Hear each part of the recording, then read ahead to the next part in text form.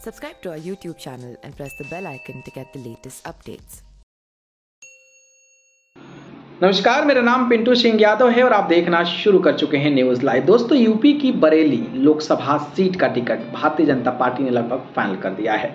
यहाँ से एक बार फिर से पूर्व केंद्रीय मंत्री एवं वर्तमान सांसद संतोष कुमार गंगावार चुनाव लड़ेंगे। वहीं पड़ोसी जनपद पीलीभीत ने एक भाजपा विधायक की बरेली लोकसभा सीट पर टिकट निगाह है। हालाँकि उन्होंने पहले पीलीभीत लोकसभा सीट से टिकट का दावा ठोका था, क्योंकि पीलीभीत के भाजपा सांसद वरुण गांधी कुछ दिनों से केंद्र से लेकर यूपी सरकार पर हमलावर है, जिसके चलते उनके भाजपा से चुनाव लड़ने की उम्मीद काफ़ी कम बताई जा रही है।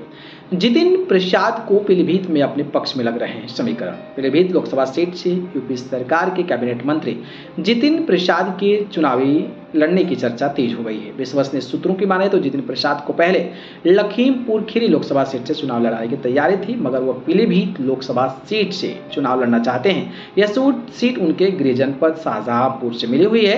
पहले पीलीभीत का काफ़ी हिस्सा शाहजहांपुर में आता था। इसके साथ ही उनके चाचा जयेश प्रसाद शाहजहांपुर पीलीभीत एमएलसी सीट से एमएलसी रह चुके हैं। हेमराज वर्मा भी पीलीभीत लोकसभा सीट से टिकट की रेस में है। इसके अलावा यूपी सरकार के पूर्व मंत्री और पीलीभीत के बरखेड़ा विधानसभा के पूर्व विधायक हेमराज वर्मा भी लोकसभा टिकट को लेकर भाजपा की रेस में शामिल हो चुके हैं। उन्होंने पीलीभीत लोकसभा सीट से पिछला लोकसभा चुनाव सभा भाजपा के टिकट पर लड़ा था, लेकिन भाजपा सांसद वरुण गांधी से चुनाव हार गए। इस बार वह भाजपा से चुनाव लड़ने की कोशिश में लगे हुए हैं। रिश्तेदार करने लगे प्रचार, मतदाताओं के टटोल रहे पीलीभीत के भाजपा विधायक की बरेली में काफ़ी रिश्तेदारियाँ हैं। उनके परिवार के लोग भी बरेली में रहते हैं। विधायक ने अपने मीरगंज, नवाबगंज शहर और भोजीपुरा के रिश्तेदारों को चुनाव लड़ने के संबंध में फ़ोन करने शुरू कर दिए हैं। उनके रिश्तेदार के करीबी ने बताया कि विधायक जी का फ़ोन आया था। उनका कहना था कि संगठन ने टिकट कंफर्म कर दिया है।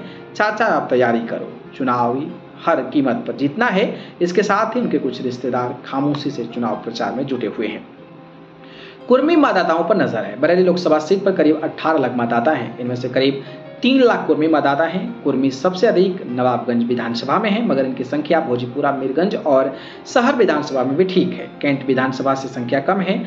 इनकी कुर्मी मतदाताओं पर भाजपा विधायक की निगाहें लगी है। बरेली लोकसभा सीट पर मुस्लिम मतदाता सात, साढ़े सात लाख के तकरीबन में है।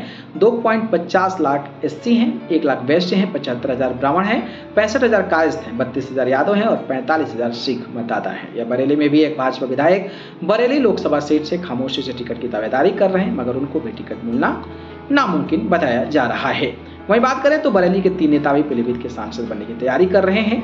तो ये जो मैंने नाम बताया, उसको लेकर कहीं ना कहीं वरुण गांधी भी अब सदमे में है कि भाई क्या किया जाए, इसलिए शायद वो और भी निशाना साध रहे हैं और दूसरे पार्टियों से चुनाव लड़ने की कोशिश में लगे हुए हैं। बाकी आपको क्या लगता है? क्या वरुण गांधी को टिकट भारतीय जनता पार्टी देने वाली है? कमेंट बॉक्स में धन्यवाद।